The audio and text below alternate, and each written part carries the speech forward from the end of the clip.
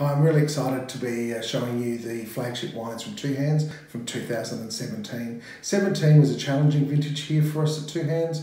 We had a very, very wet winter. Normally here in the Western Ranges in the Barossa we get about 450 mil of rain. We got over 817. So just to give you an understanding, the second ever wettest winter in Australia since records have been kept. And so how did that affect the vines? The vines kind of got drunk on water. And I mean, they had really huge canopies, really big berries, really large crops in 17. And that made a huge um, challenge for us here in the vineyards and also in the winery to get the grapes phenolically ripe and then to get concentration in the wines. We had to work incredibly hard.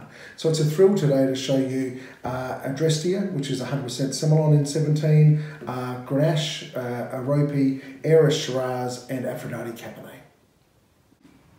First up, we have uh, Adrestia 17, which is 100 percent Semillon.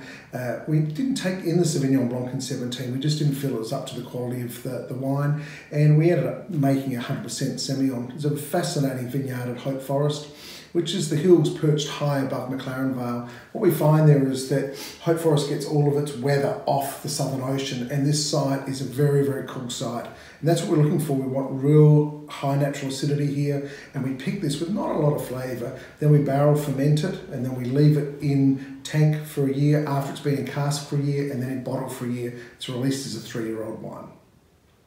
17 Aerope, uh, looking fabulous in the glass. I just love the smell of this wine. It's lifted rose petal, lavender, cherry.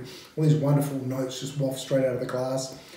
Only three barrels. Uh, it's a blend of uh, one barrel from Adrian Hoffman, very old vineyard out of Ebenezer, and then my favourite Grenache vineyard in the Barossa, Dave Materney's out on um, Kapunda Road. And it's contrasting in that David's berry configuration is always smaller and it's a darker coloured uh, grape. Uh, Adrian's is more the redder side of it, but when you marry the two together, and really we start with 30 Grenache barrels and we pretty much just select the three best. And you know, you don't really know when I'm tasting those 30 what we're going through, and then all of a sudden at the end of it, it's like they're the three best. It just happened in 17, but they had to be the blend of the two vineyards. 2017 Ares Shiraz is predominantly off of our Holy Grail vineyard. And just to explain how difficult 17 was was that what happened was is that the vine had so much water resource that it just continued to grow. And you can't just keep hedging and trimming a vine. What had actually happened is some buds under the head of the vine had shot. We ended up with these ball canes that were running through the canopy. So uh, the vineyard crew and I four of us were out there for two and a half weeks straight every day cutting these ball canes out ripping them out and shoving them in the middle of the, the row. And we had to get sunlight and airflow into our canopies to get the flavours to ripen.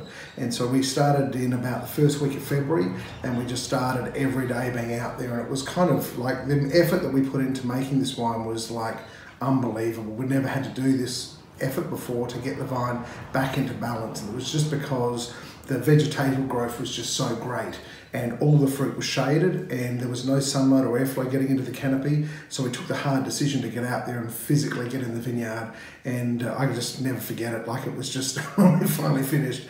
And then we made the wine and the wine was so good it was kind of validated all that hard work. So um, 17 not a naturally talented vintage for Ares but we worked so hard in the vineyard. I'm really proud of the product Aphrodite Cabernet Two Hands always expresses the best Cabernet for the vintage, and for the second time it's actually come from McLaren Vale. We were so fortunate in 17 in that uh, we were sourcing a lot of fruit from a very famous vineyard in Clarendon called Higginbotham, and Mike, the vineyard manager, said, guys, do you want to have some old vine Cabernet Sauvignon? And I'm like, let's have a look at it. Incredibly steep slope, like we're talking like that, um, about 30 year old vines, and we only got about a ton and a half I could tell straight away from tasting the fruit on the vine, but once we got it in the winery and some beautiful older French barrels, and it really is the, exactly what I want from a Cabernet. It smells like Cabernet, it tastes like Cabernet, and it's got incredible length. And we're really fortunate because we now source more and more Cabernet from this vineyard, um, and I'm just so thrilled with what we're able to make in 17 Aphrodite Cabernet.